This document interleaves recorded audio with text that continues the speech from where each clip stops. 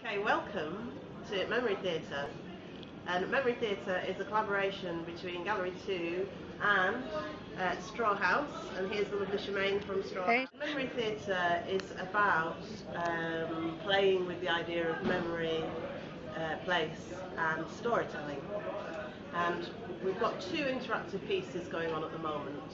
One's called Back Door, which is that over there. And the other one is called Wunderwand, which means Wonder Wall, and that means all this work on the walls here. And we are encouraging people over the time that Memory Theatre is on to come and uh, come into the gallery and make stuff and play and have a good time. We've got a kind of a door theme going on, and the door is symbolic of a portal into real and imagined places. So if you come this way, uh, this this this part of our Wonderwall is um, is where people have sent in pictures of images of doors in Bradford, and then we have uh, and then other people have also sent in uh, images of precious things. And if you come a bit closer, Close. so what we've got is it's a bit like an advent calendar where you open the Ah. door and you reveal something a bit lovely inside. So um, so this is a sort of a combination of things that people have sent in basically.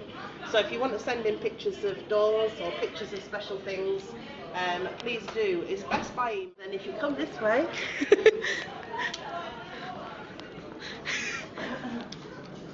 what we have on this wall is um, uh, this wall was curated by um, uh, Bridget Hayden, who came up with the idea of uh, inserting precious things into boxes, and she really, um, she really sort of brought the idea of um, inserting things into books.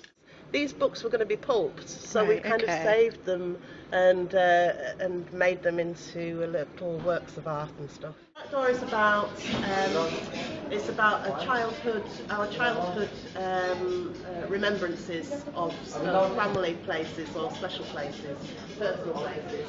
So if you can see here, um, this is this is put together from what people have um, have. Uh, have sent us about their remembrances. So, for example, we've got a lovely group of people from Queensbury who are possibly um, 60 plus now, who have written some really beautiful pieces about um, about their memories of their um, backdoor space and uh, and playing out and what it was like and stuff.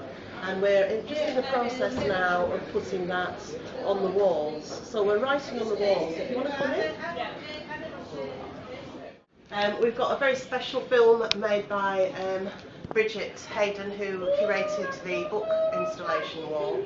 And we've got a bureau here, um, so you can write. You can actually write um, things in here or write things on the wall. We've got a sound installation by Tree, um, who's, uh, who's an artist who sort of put together a sound installation of stuff that reminds her of her childhood. Come in, make things, and have a nice time. Thank you, Bob. Thank-